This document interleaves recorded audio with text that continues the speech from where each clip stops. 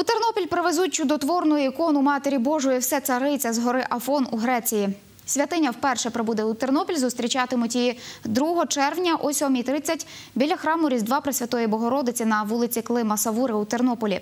Перебуватиме святиня у храмі до 5 червня. Це не є оригінал, бо вже запитували мене, чи є оригінал. Це є список ікон.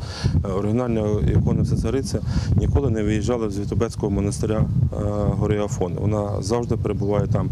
Це одна із п'яти ікон, копія, яка написана, і вона прибула в Україну.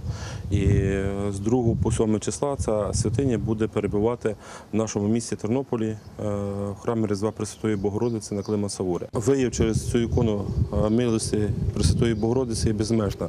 Ця ікона е, виявляється особливо в сучасності, коли багато є тяжких хвороб невиліковних, де люди ісціляються від е, онкохворих, е, онкохвороб своїх.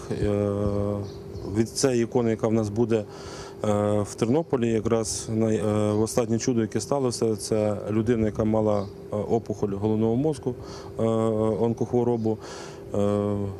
Е, Пройшла всі аналізи і лікування в Україні, не допомагало. Е, Певний час вона приходила до цієї ікони, вона перебувала на Львівщині, ця ікона була.